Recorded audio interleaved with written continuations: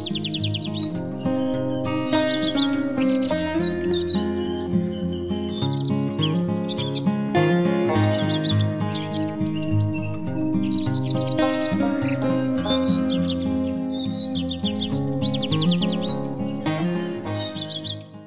אז ביקשתן את המתכון שלי לצ'אי. אז קודם כל צ'אי זה משקה תבלינים הודי, בדרך כלל מגישים אותו אה, על בסיס של איזשהו משקה צמחי, כמו סויה או שקדים או שיבולת שועל. אני דווקא אוהבת את הצ'אי עצמו, את התה עצמו, ומכיוון שאני שותה שתיים, שלוש, לפעמים ארבעה, ארבע כוסות, אצלי זה ספלים, ספלים ענקיים כאלה, אה, ביום, אני לא כל כך רוצה את התוספת האינסופית הזאת של, ה, אה, של המשקה. אה, אז לפעמים ככה מדי פעם אני מפנקת את עצמי, את עצמי ומוסיפה לזה את המשקה מוקצף בדרך כלל, ככה בשביל באמת ללכת עם הפינוק עד הסוף. אבל הבסיס של המשקה הוא בסיס של תבלינים, תבלינים שהם כולם מחממים את הגוף ומחזקים את המערכת החיסונית. אה, לא כדאי לשתות את המשקה הזה בקיץ, כי אתה פשוט, זה כמו להיות בסאונה, אבל כששותים אותו בחורף הוא גם מחמם פיזית, מחמם עכשיו, מחמם אותי. אה, אבל גם מחמם את הגוף, זה מאוד מאוד חשוב בחורף לאכול ולשתות אה, מאכלים מחממים, וגם כמובן לחזק את מערכת החיסון. אז אני הופכת את המצלמה,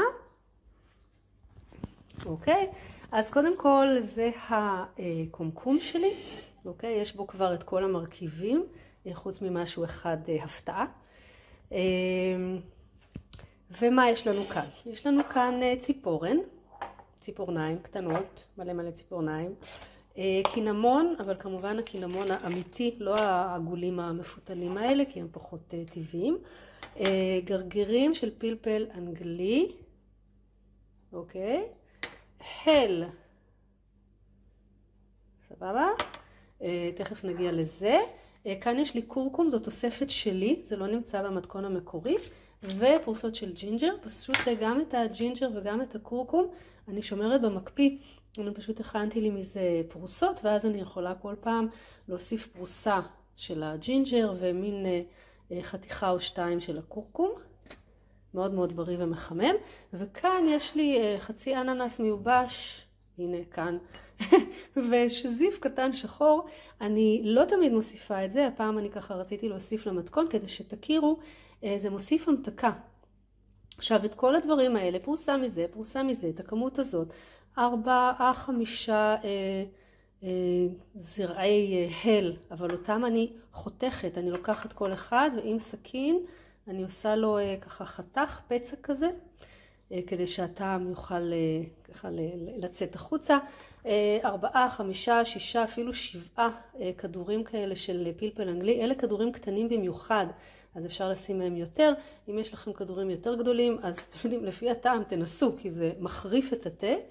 אה, כאן אני לוקחת גם מזה שתיים, שניים, שלושה אה, כפיסי, כפיסי קינמון כאלה, ופשוט שוברת אותם לשניים, וגם כן ארבע, חמש, שש אה, ציפורניים של ציפורן.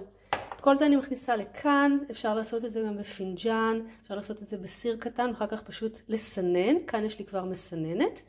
אה, ואני מרתיחה את זה, פשוט מביאה את זה לרתיחה מלאה, אה, וזה יוצא מדהים ומאוד מאוד מומלץ. Thank you.